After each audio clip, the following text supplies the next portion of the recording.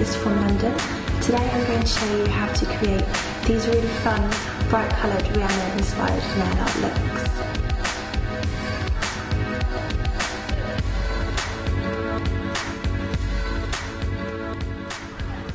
The first product that I'm going to use today is Nail Envy by OPI. Um, I always use this as a base coat just to prevent the nail varnish from staining the nails and also it just does help your nail varnish to last longer. The first colour that I'm going to use is by Bourjois and it is the one second gel nail varnish in all which is a really lovely gold colour. I'm using this really nice nude colour by H&M. It's called Nerd and I'm going to paint that on the fingers between the thumb and the ring finger. The next colour that we're going to use is called Plume and it's by Topshop. It's a really holographic glittery purple nail varnish, so we're just going to use this as a detail in one of the designs on the index finger. Repeating the last step that we did with the Topshop nail varnish, we're going to use Ciate in Headliner, which is this really amazing turquoise colour. Continuing on the same nail, we're going to repeat what we've already done with the purple and the blue, and we're going to use the Bourjois 1 second nail varnish once again, this time in shade 21, which is called Sunny Sunday. We really want to cover the whole edge of the nail in every different colour on this design, so where we've got some small gaps that we can't reach with a regular nail varnish brush, I'm just going to go in with the Topshop nail art pens in pink and orange, just to fill in those gaps. Then on the little finger, I'm going to use the Sunshine Yellow again, just to tie all the designs together, and I'm just going to apply that on half of the nail. Now that the gold on the thumb has dried, I'm going to use the Topshop nail art pen to draw the diamonds. Paint the diamond, you just want to break it down into really simple steps.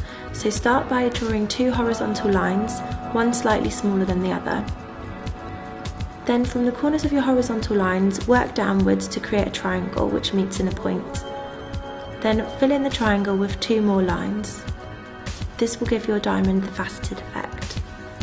Then just do a really gentle zigzag in between the horizontal lines to get those triangles at the top to really finish off the look. Draw another diamond slightly further down on the nail to fill out the design. For the stars, you simply need to draw three lines crossing over each other and intersecting at a point in the middle. Then you can use the nail art pen to carefully apply little spots on the nail which will look like shine. To create the outline design we're once again using the Topshop nail art pen in black. Now with your thumb you just want to hold back the skin at the side of the nail so you can get right up along the edge and just paint each side of the nail. Hold the brush really flat against the nails, this will give you more control. Once you've painted both your sides, you can fill in along the edge of the nail, which is really simple, just in the same motion as you would do a French.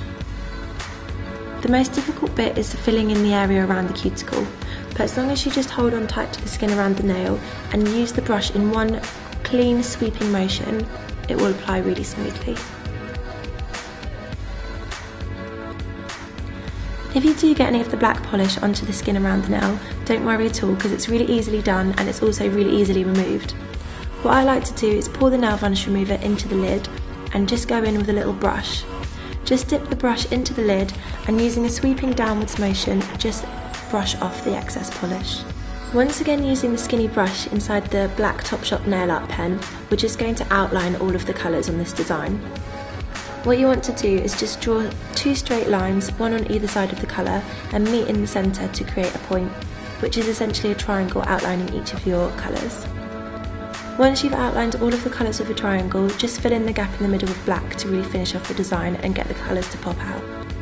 I'm once again going to use the pink Topshop nail art pen, this time to paint half of the little finger over the yellow with the pink. To really finish off this design on the little finger, we're just going to add some rhinestones to join the two colours together. Apply a top coat across the whole nail and then using the black Topshop nail art pen, press the nib carefully into the rhinestones to pick them up and place them onto the nail. Again using the nib, just push down really hard to secure the rhinestones into place.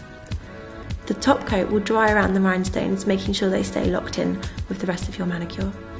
Just to really finish off this look, we're going to apply two rhinestones to the nude nails.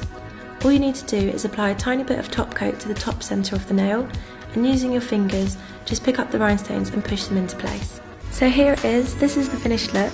It's inspired by the bright and graphic nails which Rihanna is often pictured with. I hope it's helped seeing how simple, fun and effective it is to mix up colours and add rhinestones to your manicure. Hope you enjoy recreating this yourself at home and please do upload your pictures as we'd love to see your designs.